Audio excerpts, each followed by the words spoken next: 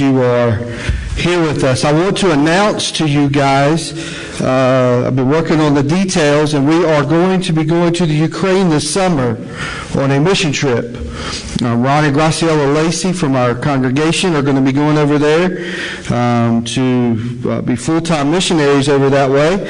And, um, and so July 7th through the 15th, if you want to go ahead and write those uh, dates down, July 7th through the 15th, we're going to be going um, over to the Ukraine to work with uh, different refugee ministries over there, uh, different pastors over there, different churches over there, and that kind of thing.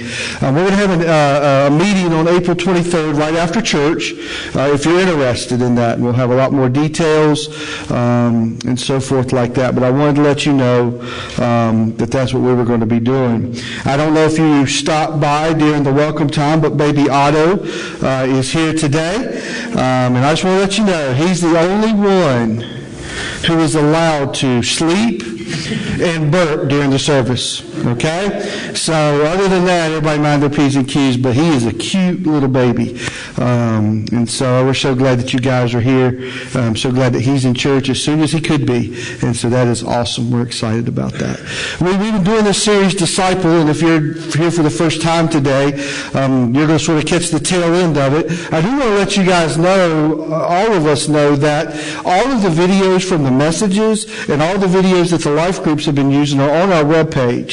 And so if you missed one week or missed the first two or three weeks or, or whatever and just need to catch up, all of that is on our webpage, thevineonline.com.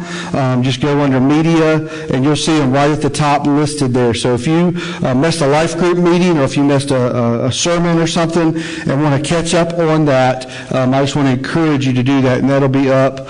Um, there's one video left to put up that I'll put up. Uh, I'll put up the preaching message tomorrow and probably by Tuesday have the life group message for week six. And I know that a lot of life groups are off of schedule um, just because of spring break. Some took last week off, some took this week off, some took both weeks off. And so wherever you're at in that, it's all up there so you can catch up. Um, so if you're one of our life group leaders or hosts, you, you just know that. Uh, but it's been an exciting series for me. I, I don't know about you, but um, I've really enjoyed it. I sort of hate to see it come to an end.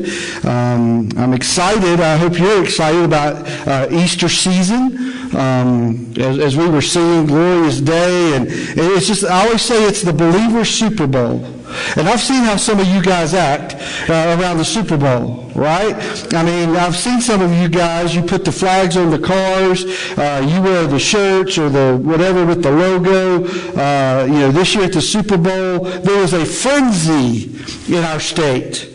Uh, in our town because uh, the Falcons were in the Super Bowl. Well, for the believer, that's what Palm Sunday and Easter Sunday is. It's that Super Bowl. It's that, and here's the cool thing unlike the Falcons. We win. we win in the end. And I know some there's days when we don't feel like we're winning. I know that there are times when you don't feel like you're winning, but you need to know if you're a believer that during this Easter season, even though the story gets dark and the story gets awful, but we win in the end. So I hope you're as excited about the Easter season as I am um, as we wrap up this disciple series. Let me do one final run through. Uh, I've done it each week, and I know it gets longer each week because we add another letter, but we basically have just used the letters from the word disciple as an acronym. And each week we've, we've talked about two or three different aspects um, of the letters of disciples. Let me just run through that. The first letter D, we talked about denying self. We talked about giving up our ways for God's ways. Uh, I know I'm notorious, and, and, probably many of us are uh, know ourselves well enough to know that I like to do things my way. Uh, I want to get somewhere my way. I want to handle a project my way. And so most of us try to do that with our lives. I want to do it my way. I want to do my career. I want to do my finances. I want to do it my way. And yet the Bible says, He says, if you're going to love me, you're going to deny yourself, take up your cross, and follow me. And we talked about that meant to give up our ways for God's ways. And God's ways are always right. The letter I, we talked about identifying with Christ. We talked about how it's not just so important to identify with him privately, but that we identify with him publicly. The people we work with, the people we live next to, the people we hang out with, the people, uh, you know, the other parents on our kids' ball teams, the, all of those people around us, so that we identify with Christ publicly, that we're a light for him, that we're shining for him in the community that we're in. We all run in different circles, and a lot of times I can't come into your circle. No, the people you work with aren't interested usually in having your pastor come to your circle. But if you can be in your circle and you're working in your circle and rotating in your circle and living in your circle for Christ, then you can have the impact there. We talked about S means to seek God daily. It's a choice that we make. We all are given 24 hours in the day. None of us are given 24 hours and 15 minutes. We all have the same 24 hours to divide up and negotiate how we're going to use it. So it really is a conscious decision on our part to seek God daily, to seek that relationship that He wants to have with us. We talked about seek, connecting with believers, and many of you are doing that. Many of you are doing that through life groups. And it's a time when a large group can be broken down into small groups and, and where things you might not would share or pray for or be encouraged by or whatever, in the large group you can share with those smaller groups of people that you're connecting with, that you're, as we say, doing life with. And so it's important that we connect with other believers. Not just a wave and a hey, how you doing, but that we get to know each other personally, that we get to eat, uh, do life together with each other. Couple of weeks ago now, we talked about I increases in obedience. Obeying Christ. He says, if you love me, and here's what's really awesome about Christ. He doesn't give you a lot of gray area that you have to decide. You know, he doesn't say, here's a, here's a real problem, Rick. Figure it out. Most of, if you, if you know and you read and you follow, you know that most of the time he's very black and white. So he says, if you love me, you will obey me. So you don't need a 100 litmus tests. You don't need to answer 200 question questionnaire. He said, if you love me, you will obey me. And so a true disciple will be one who is every day trying to increase in their obedience. Last week we talked about proclaiming God's glory. We talked about worship. And we talked about the reality of that we're really good at worshiping in the building. We, we are great. You guys are great. Y'all sing great. Our band is top notch. I mean, we have no problem with worshiping God, with opening His Word and reading it uh, in the message. We, we are great at worshiping God in the house, but how do we proclaim God's glory outside the house? how again in those circles that you live in, that you run in, that you that you uh, uh, recreate in, and all those kinds of things, those circles. How do we proclaim God's glory to those around us and to those that we know? So today we're going to finish up the series by covering the last two letters of the word disciple. And we're going to start with the letter L, which means stands for live generously. To live generously. Now, uh, 2 Corinthians chapter 9 says this. It says, remember this, a farmer who plants only a few seeds will get a small crop, but the one who plants generously will get a generous crop. It says you must decide in, in your heart how much to give. And don't give reluctantly in response to pressure, for God loves a person who gives cheerfully. And God will generously provide all you need then you will always have everything you need and plenty left over to share with others. Back in January, I preached a whole message about generosity and how to live generously. And So I didn't feel like today I needed to rehash all of that. Uh, and if you're interested in that, it's, it's like week five of the, the series we did back in January. Again, it's on our webpage. But, but I have had several conversations the last couple of weeks it's cool how God works that out for me. I, he, I guess He knows I need the help. Uh, but I had several conversations with some folks about generosity. And, and, and, so I did feel like I wanted to share a couple of things with you about generosity. We're not preaching a whole message about it, but, but there's three things that we have to do if we decide we want to live generously. Okay, there's three things we've got to do. The first thing we've got to do is reprioritize. Reprioritize. Because here's the reality of most of us.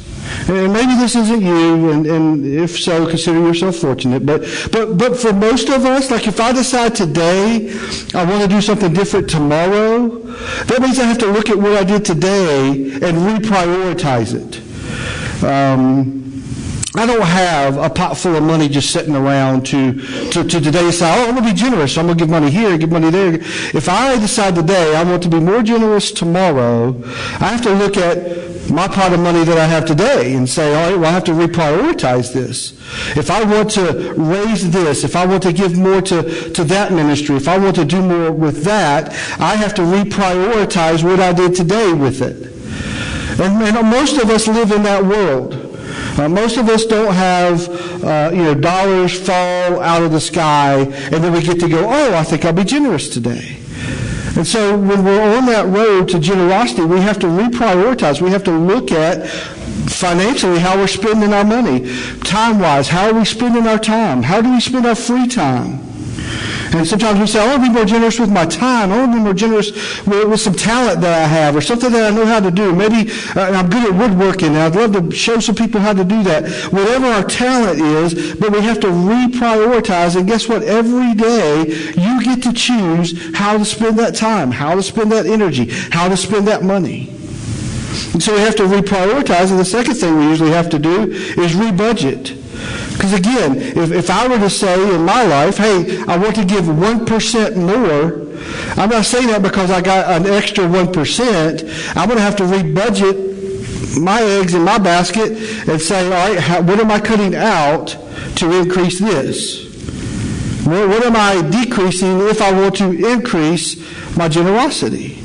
And for you know, for me, it's probably you know two trips to Moe's. I mean, you know, I, I am gonna have to cut something out if I want to spend that same money somewhere else. And so we have to reprioritize and we have to rebudget. You know, if you want to increase it by one percent, or you said, hey, ten dollars a month, or whatever you did, you're going to have to redo your budget. And the third thing is we have to recommit because it really is a daily decision. Here's what I've learned about generosity. Generosity is really a lifestyle. Any of you ever go to the doctor and he says, you know what, we, have taken all the, the, you know, you stepped up on the scale, we've taken the blood work, and uh, the, you know, you really need to, you really need to do some work. You need to lose some weight. Uh, maybe, maybe you've never heard that. I hear that every time. So, hey, maybe you need to lose some weight. Well, he wants me to start exercising. He wants me to start eating right. And, and you know, I've, I've, several times in my life, I've lost 50 pounds or more. You know, just training or whatever. But, but, I, but several times in my life, I've done that. But it always comes back to find me. Why? Because what happens is I, I don't change my lifestyle. I just make some quick fixes that show me some quick results. And, and then when I'm done with all of that, guess what? It, it comes right back. It's the same way with our generosity. It's a lifestyle change. It isn't a quick fix thing. It's a, it's a lifestyle change. And so, so every day we have to recommit ourselves. You've heard it takes 21 days to break a habit and 21 days to create a habit. Three weeks, three straight weeks uh, to break a habit. It doesn't matter what I've, I, have told many of you what I've done so far this year is, is each month I've taken something and sort of said, I'm not going to do that this month. The month of January was Facebook, so I spent a month not on Facebook.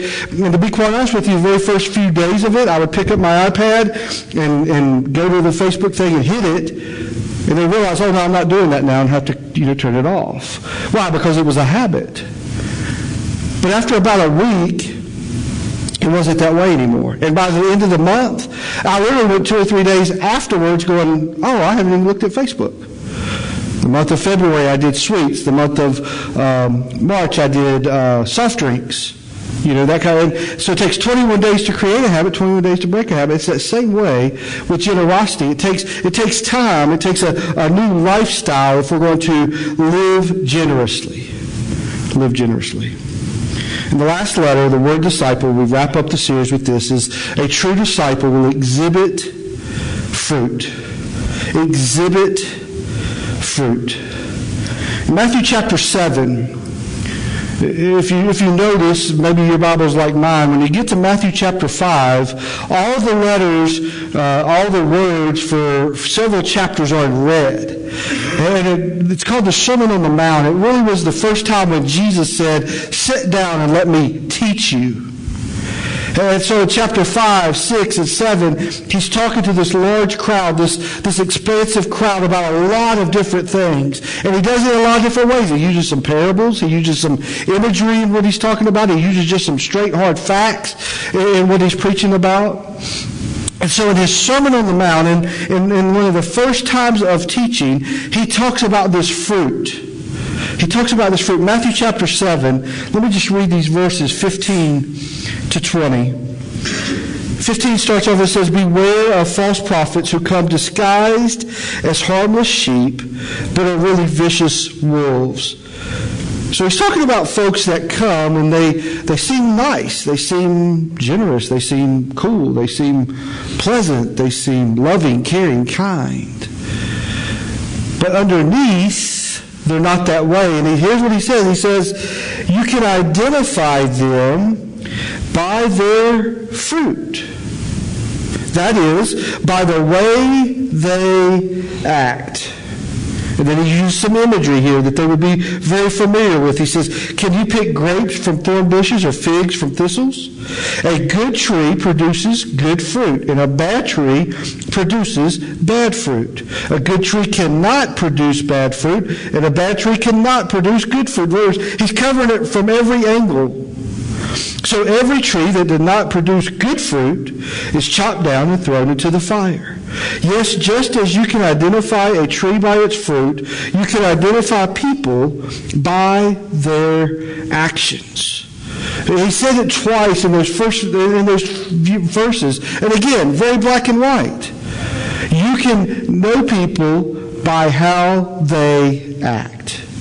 You will know them by their fruit. And for the disciple of Christ, they will know us by our fruit. They will know us by how we act. It's very, very important. And all throughout Scripture, there's this, there's this uh, teaching point, this, this concept of fruit, of what you bear, what you sow, you bear, what you sow, you reap, what you plant, you, you produce. And he talks about a true disciple is one that we can tell who they are by how they act. Many of you in this area are into farming and, and all that, and, and, and Mr. Kyle's not in here this morning, but, but if Dustin planted um, an apple seed, he would be very surprised if an orange tree popped up. Uh, he, he, would be very surprised if a year later, when it started producing something, he looked out and he goes, Man, those apples are really orange. He went out to pick it and he goes, Man, that doesn't look like a, the, the, the covering of an apple. That looks really like an orange, but, but I put an apple seed in there. I know it's got to be an apple tree. He would be very odd. We understand that. It makes sense to us. It would have made sense to, to these folks as well. They understand what you put in the ground is what you are expecting to come up. And so for the true disciple, the question becomes, what are you putting in the ground? What seeds are you planting? Galatians chapter 6, it says, Don't be misled. You cannot mock the justice of God. You will always, always harvest what you plant. Those who live only to satisfy their own sinful nature will harvest decay and death from that sinful nature. But those who live to please the Spirit will harvest everlasting life from the Spirit. You see, Jesus is so cut and dry. There isn't a lot of gray area. You can't sort of wiggle your way through discipleship. It's like what you put in the ground is what's going to be what comes up. So, what are you reaping? What are the fruit in your life? You know, there, there's a verse in the Bible that a lot of people really misconstrue. And, and I've heard preachers and, and, and professors and a lot of people talk about this one verse where it says, Do not judge, right? So people all the time go, You can't judge me. The Bible says, Do not judge. You can't judge me. But they never read or talk about the second part of the verse. It does not say do not judge, period. It says do not judge lest you be judged. In other words, don't judge others unless you're going to put yourself in that same position to be judged by God. And so it's not our job to go around judging each other, but you know? You can't help but be a fruit inspector. Uh, it's easy for me. I could go stand at Walmart today, and I could I, I, could just watch people stand in line, go through the store. You you can tell how people are by how they act. You're going to reap what we sow. We're going to pop up in our lives what we bury as a seed. Colossians chapter three is a very interesting passage because it talks about all the different seeds that you and I can plant all the different things that you and I can plant in our lives that are going to pop up as seeds, as fruit in our lives. Let me just read this to you. Colossians chapter 3, starting in verse 8. Uh, verse 8. But now is the time to get rid of anger, rage, malicious behavior, slander, and dirty language. Don't lie to each other, for you have stripped off your old sinful nature and all its wicked deeds. Put on your new nature and be renewed as you learn to know your Creator and become like Him. Did we talk about the very first week? A disciple is someone who's a reflection of Christ, right? A reflection of the Master. In this new life, it doesn't matter if you're Jew or Gentile, circumcised or uncircumcised, barbaric, uncivilized, slave or free.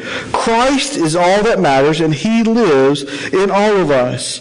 Since God chose you to be holy people He loves, you must clothe yourself with tender-hearted mercy, kindness, humility, gentleness, and patience. Make allowance for each other's faults and forgive anyone who offends you. Remember, the Lord forgave you, so you must forgive others.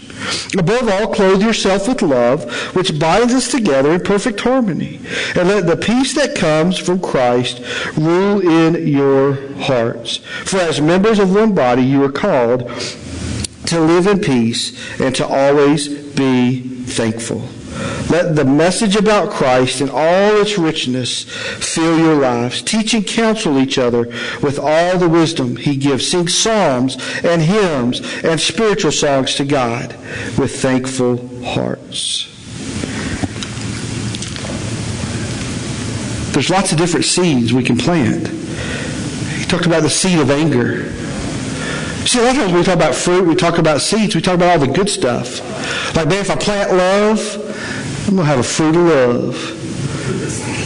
I mean, if I plant peace, I'm going to grow peace. But you know, you can also plant anger. You can also plant rage. You can plant bitterness in your life, and you know what? It will grow up and produce the fruit of bitterness. So, so there's two different types of seeds we can plant. We can plant anger, rage, malicious behavior, slander, dirty language, lying. We can plant all of those things in our lives, or we can plant mercy and kindness and humility, gentleness and patience. We can make allowances for each other. We can forgive. We can plant the seed of forgiveness. Can I tell you, if you would plant the seed of forgiveness in your life, for those of you who are parents, if you can plant the seed of forgiveness in your children, all of us will be better off down the road. Why? Because so many of us walk around with the seed of bitterness because we never had the seed of forgiveness planted in our lives. He says, remember, uh, remember the Lord forgave you, so forgive others. Clothe yourself with love. Bind yourself with harmony. Let peace come from, the, from Christ that rules in your heart. Be thankful. Live in peace. So let me just ask you, what seeds are you planting? What is it in your life that you're planting? Because it's going to bring the fruit. And if we want to be a disciple of Christ, if we want to be a reflection of the Master, if we want to be a, a person who is growing each day towards that, towards that make or the reflection of the Master, then we're going to have to plant the seeds that produce the fruit we want. So let me ask you this. As we wrap up this series, I started week one, I asked you this question Are you a disciple of Christ? So I ask you now in week six of the series, are you a disciple of Christ? The answer to the question isn't as important if it's yes or no. But the answer to this next question is probably more important. Are you striving? Are you committed to becoming, growing, become more like a disciple of Christ? Because, see, I look around this room and I see some really good people. There may not be a better person in all of Middle Georgia than Mr. Clower back there. I see really great people. I see generous people. But I don't see any of us, including Mr. Clower and including myself, who are there yet. We haven't, we're not the perfect reflection yet of Christ. So the question is, are you willing to be committed to that process? Are you willing to strive for that goal? Can you wake up, can, can you leave here today, whatever restaurant you're going to go to, can you have a commitment in your heart to act more like Christ towards this waitress than I would have last week? When you go to Walmart this afternoon, can I act more like Christ in here than I did the other day? When you wake up tomorrow, and some of you, yes, have to go back to work after a week off. The worst part about being a teacher tomorrow is the fact that your kids had a week off, right, Dustin? So they come back in, it's like, let's start over almost. But can I, can I, can I treat those children more like a disciple of Christ today than I did the Friday before we got out at spring break? Can we be committed to that process? Now, I had this thought this week, and y'all know me, and I, it isn't like a lot of times I have these original thoughts per se. And when they're good, I have to write them down so I don't mess them up. And so I wrote this down. Now, I want you to think about this as we wrap up this series. What would have to change in your life to grow this year to become more of a disciple of Christ? What would have to change? Some of you, maybe you say, I'm planting seeds of anger. Or I've got this fruit of bitterness and I'm trying to get rid of it. I got, I, I need to plant more love and harmony and peace and kindness. What would you have to change in your life? But then here's the second question. How could your life change this year? If you grew to be more like Christ this year. What would you have to change? But man, how could your life change this year? Maybe at your house, maybe with your family, maybe with your boss, maybe with the people you supervise, maybe with your finances. What would you have to change? But then, how could your life change this year? Man, what could your life be like in December to look back and just realize, man, I started the year off here, but man, I've just been changing these things, and, and, and some of them have been hard, and and you get to the you get to the end of the year, and you look back, and you're, man, my life is so different than it was in January, or March, or April. How could your life change? What would you have to change? And how could your life change this year? You see, here's the, the crux of this whole series is that it's a process. No quick fixes when it comes to being a disciple of Christ. There will be struggles along the way of growing to become more like Christ. There will be those times when God speaks to you, when God says to you, when God wants to do for you, and, and you're like, no, I don't want to do that. And I've, already, I've shared so many stories of my own life uh, where God would say, you need to do this. And I would say, God, I don't want to do that. You need to do that. God, I've got that buried deep. I don't want to uncover that scab. I don't want to bring up that issue. I don't want to have to talk about that anymore, God. And he said, but if you don't, you'll never get past it. And, and there's several instances where I've done that. And I brought it up and did what God said and moved past it. So really that's all peaches and cream and let's all pie in the sky let's just walk outside and just have all this stuff float down. But being involved in that process to, to become more like a reflection of Christ. is one of the most powerful things we can do. For those of us that are parents, it's probably one of the most powerful things you can do for your kids. More powerful than teaching them reading, more powerful than teaching how to do math, more powerful than helping them do that incredible science project that they take in and get an A for. It's more powerful than that. If you can show your children how to be a reflection of Christ. Let's pray. Father God, this morning,